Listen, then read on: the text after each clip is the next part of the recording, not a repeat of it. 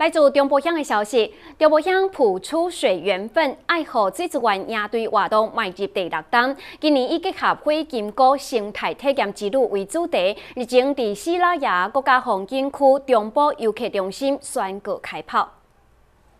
中部乡公司表示，付出水缘分呀，对是一个有传承和教育意义的活动。每一位客官拢是一粒一粒的种子。今年活动以扦插普新芽，迎向六周年为主题，以扦插树苗方式来培育新芽，向前一代传一代。今年有一个新亮点，首度结合萤火虫的生态体验之旅来举办。也有萤火虫，所以我们特地今年在。呃，举办了两个梯次，那一个是这个礼拜六，那另外一个梯次是下个礼拜六，四月二十一。那我们呃特别选了在中仑还有社口进行赏萤。那另外呢，我们这个是一整天的，除了赏萤，我们还带他们到石弄林场去做一个那个生态的一个体验。那也带他们到西拉雅中埔游客中心来做这个。编织竹编的一个体验，还有我们去东园种苗园区做扦插，还有翻土的一个体验啊，那行程非常的丰富。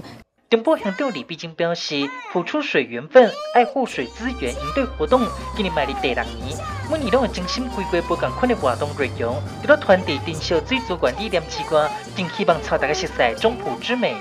那我们今年总共哈这个活动总共有有四个不同层面的一个营队。那呃首先还是有在地我们小六生非常喜欢的一个毕毕业成长营，这算是我们送给。那个我们小六生的一个毕业礼物，那也借着这个活动，让他们可以了解自己家乡的一个生态资源。那还有我们那个全国民众都非常喜爱的亲子营，那我们很贴心的帮他们设计的两个不一样的梯次，有低年级的，还有中高年级的。那不同的梯次当然就会是不同的体验，所以我们今年特别安排绿营牧场还有红毛猫来进行体验，好让他们都可以来认识。好，我们中埔乡的这块土地。那这几年我们也办了一个种子营。那这个种子营主要就是招募我们的乡内的一个青年军。我们希望未来这个青年军就是我们乡内的一个重要的支柱，可以来支援我们中埔乡大大小小的一个重要的一个活动，也可以多多参与我们的乡内的一个那个公共事务。